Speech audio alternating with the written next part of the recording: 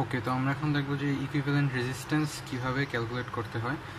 আমরা এখানে একটা সার্কিট দেখতে পাচ্ছি। সার্কিটের মধ্যে তিনটা রেজিস্ট্যান্ট রেজিস্ট্যান্স আছে সিরিজে তো সিরিজে যদি রেজিস্ট্যান্স থাকে, তাহলে সেগুলো ইকুইভ্যালেন্ট করার সময় আমরা সরাসরি যোগ করব। এখানে আছে দুই, তিন এবং চার। তাহলে এর ইকুইভ্যালেন্ট রেজিস্ট্যান্স হবে দুই যোগ তিন যোগ চার। তাহলে হচ্ছে আমার নয় ওহম। ওকে এটা ছিল সিরিজের জন্য এবং মনে রাখতে হবে যে সব সময় এই যে খোলা প্রান্ত, এই খোলা প্রান্তের দিকে যেতে হবে। মানে খোলা প্রান্তের দিকে যেতে হবে, এদিক থেকে যোগ করে করে। এদিক থেকে যোগ করে করে এদিকে যেতে হবে। ওকে, এটা ছিল সিরিজের জন্য। এরপরে দেখব আমরা প্যারালালের জন্য। ওকে, এবার প্যারালালের জন্য করলে মানগুলো সেম আছে, কিন্তু এবারই রেজিস্ট্যান্সগুলো কী আছে? আছে প্যারালালে আছে। কেন প্যারালালে আছে? কারণ তাদের এই একদিকে টার্মিনালগুলো একসাথে একটা নোডে এবং অপর দিকে টার্মিনালগুলো একসাথে অন্য একটা নোডে আছে। আগের সার্কিটটা সিরিজে ছিল কারণ তার একটা টার্মিনাল দিয়ে অন্য একটা টার্মিনাল এই রেজিস্ট্যান্সের একটা টার্মিনালের সাথে যোগ আছে এবং এই রেজিস্ট্যান্সের অন্য একটা টার্মিনাল অন্য একটা রেজিস্ট্যান্সের সাথে যুক্ত আছে, যার ফলে এটা হচ্ছে সিরিজের সার্কিট। ওকে এটা আমরা পরবর্তীতে দেখব যে সিরিজ সার্কিট এবং প্যারালাল সার্কিট কীভাবে আইডেন্টিফাই করা যায়।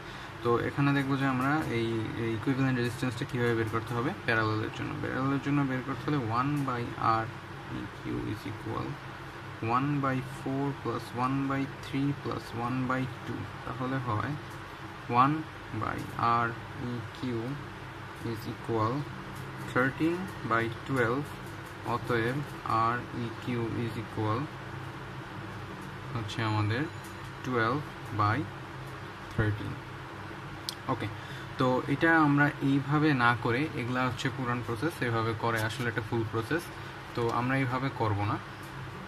আমরা এটা আরও সহজভাবে করব, সেটা হচ্ছে আমরা লিখব R E Q is equal four এটা হচ্ছে প্যারালাল সাইন থ্রি দেন আবার প্যারালাল সাইন টুয়েলভ এবং এটা ক্যালকুলেট যেভাবে করব তা হচ্ছে four inverse plus three inverse plus twelve inverse এবং এই পুরাটাকে ব্রেকেট দিয়ে হোল ইনভার্স এবার এটা ক্যালকুলেটারে আমরা চেপে দিলে আমাদের রেজাল্ট চলে আসবে, যা আসবে এটা।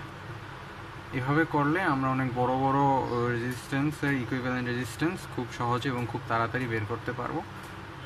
তো পরবর্তী ভিডিওতে আমরা দেখব যে কখন প্যারালাল হয়, কখন সিরিজ হয়, এবং তারপরে আমরা এই একটা বড় ধরনের ইকুইভ্যালেন্টের প্রবলেম সলভ করব। Thank you